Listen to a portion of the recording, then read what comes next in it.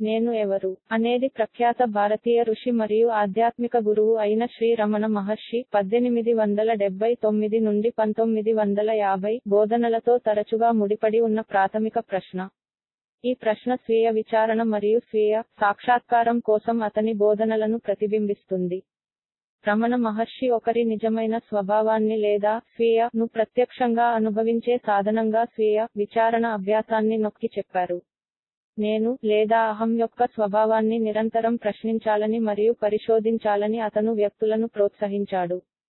నేను ఎవరు అని తనను తాను పదే పదే ప్రశ్నించుకోవడం ద్వారా మరియు ఈ గుర్తింపు భావం యొక్క మూలాన్ని లోతుగా పరిశోధించడం ద్వారా అహాన్ని మించిన స్పృహ యొక్క లోతైన మరింత ప్రాథమిక కోణాన్ని సంభావ్యంగా వెలికి తీయవచ్చు.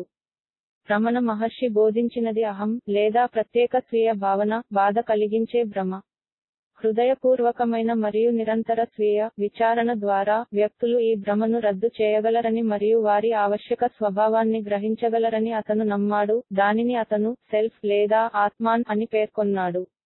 ఈ సాక్షాత్కారం తరచుగా వ్యక్తిగత అహం యొక్క పరిమితులను దాటి స్వచ్ఛమైన అవగాహన యొక్క ప్రత్యక్ష అనుభవంగా వర్ణించబడింది. రమణ మహర్షి బోధనలు ప్రపంచవ్యాప్తంగా ఉన్న ఆధ్యాత్మిక అన్వేషకులు మరియు అభ్యాసకులపై తీవ్ర ప్రభావం చూపాయి. స్వీయ విచారణ మరియు స్పృహ యొక్క అన్వేషణకు అతని విధానం స్వీయ ఆవిష్కరణ మరియు ఆధ్యాత్మిక మేల్కొలుపు కోసం అన్వేషణలో ఉన్నవారికి స్ఫూర్తినిస్తుంది.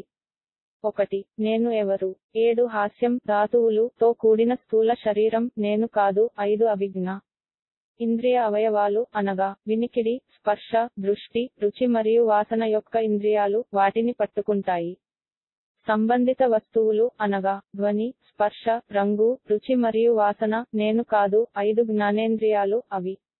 ప్రసంగం లోకోమోషన్ గ్రహించడం విసర్జన మరియు సంతానోత్పత్తి యొక్క అవయవాలు.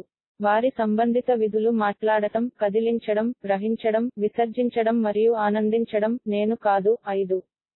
ప్రాణవాయువులు ప్రాణం మొదలగునవి అవి వరుసగా ఐదు శ్వాసక్రియలను నిర్వహిస్తాయి మొదలైనవి నేను కాదు. నేను కాదు అనుకునే మనసు కూడా అజ్ఞానం కూడా ఇది శేషంతో మాత్రమే ఇవ్వబడుతుంది. వస్తువుల ముద్రలు మరియు అందులో వస్తువులు లేవు మరియు పనితీరు లేదు నేను కాదు. రెండు నేను వీటిలో ఏదీ కానట్లయితే నేను ఎవరు?